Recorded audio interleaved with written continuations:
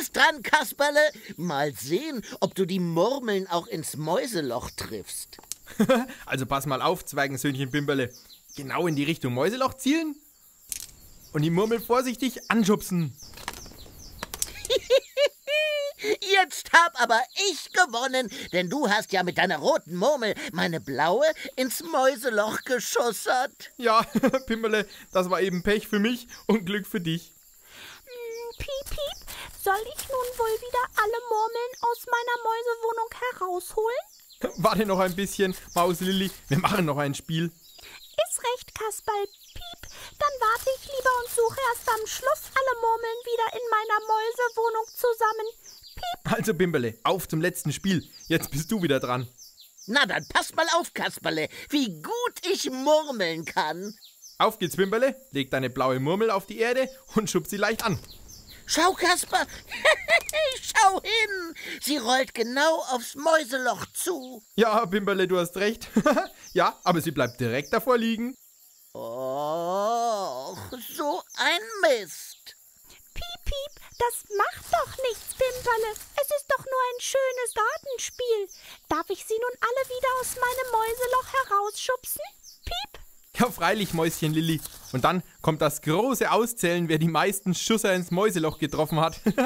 ich sammle inzwischen die restlichen Murmeln in mein Murmelsäckchen ein, die noch hier vor dem Mäuseloch liegen. Warte, Bimbele, ich helfe dir dabei. Dann geht's schneller.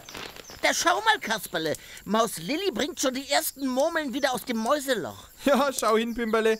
Bis jetzt sind's drei blaue von dir und vier rote von mir. Och, du hast schon eine mehr. Geschafft. Puh, das war die letzte, die ich gefunden habe.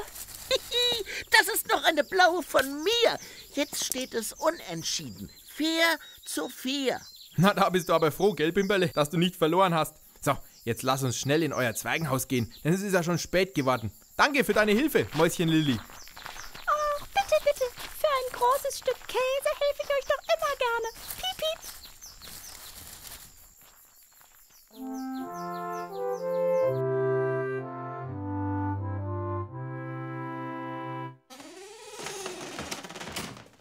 Na, ihr beiden Murmelspieler, seid ihr endlich müde geworden? Aber Papa Bommelhut, ich werde doch nie müde.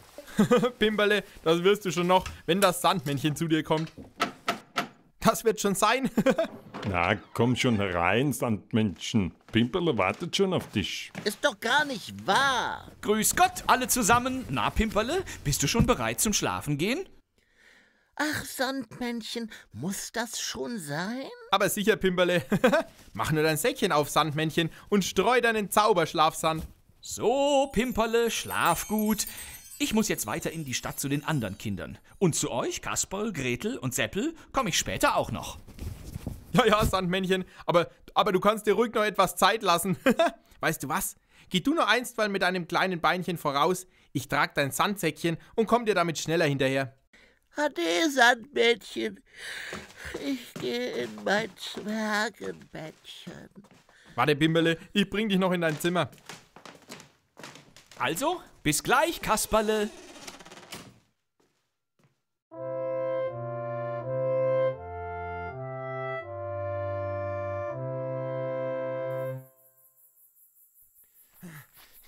Sandmännchen! Sandmännchen! Ich komme schon! Ja, sag mal, Kasperle, warum schnaufst du denn so? Na, wenn ich auch so viel Schlafsand von dir mit herumtragen muss. Äh, Quatsch, Kasperle, so viel Sand kann doch gar nicht mehr in meinem Säckchen sein. Ja, das gibt's doch nicht, Sandmännchen. Warum ist der Sack denn da noch so schwer? Lass mich mal hineingucken. Ach du liebe Güte. Da ist ja gar kein Sand drin. Das ist ja gar nicht mein Säckchen. Ja, lass mal sehen. oh Jemine, ich habe aus Versehen die Säckchen verwechselt. Oh, da habe ich in der Eile Pimperles Murmelsäckchen erwischt und bin dir damit hinterhergerannt. Au weh, wenn du uns die Murmeln auf die Augen gestreut hättest, hätten wir morgen früh alle blaue Pfeilchen wie die Boxer. Äh, was machen wir denn jetzt, Kasperle?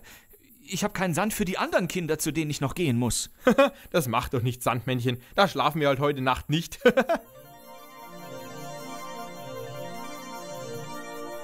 Das könnte dir so passen, Kasperle. die liebe Traumfee erscheint. Du machst mir jetzt bestimmt einen Strich durch die Rechnung. Natürlich, Kasperle. Ich kann es doch nicht zulassen, dass du und die anderen Kinder morgen unausgeschlafen in der Schule sitzen. Ja, was willst du denn dagegen tun, Traumfee? Ein einfacher Spruch von mir und alles ist wieder in Ordnung. Murmelsäckchen in Kasperls Hand, tausch dich aus gegen den Sack mit Sand.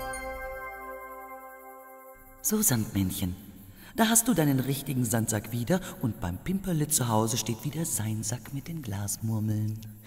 Dann kann ich mit Bimberle am Morgen wieder mit Murmeln spielen und wir müssen nicht nur Traumsandburgen bauen. Ihr liebe Kinder spielt hoffentlich auch immer schön mit euren Geschwistern oder Freunden. Aber lasst es dabei nicht zu spät werden, damit ihr immer rechtzeitig ins Bett kommt. Damit ihr am nächsten Tag stets ausgeschlafen und fit seid. Denn kleine Kinder brauchen noch viel Schlaf. Und viel Schlaf ist auch gesund und das, das sollte ja immer bleiben. Das wünschen euch Das kleine Sandmännchen die Traumfee Und euer Bamberger Kasperl.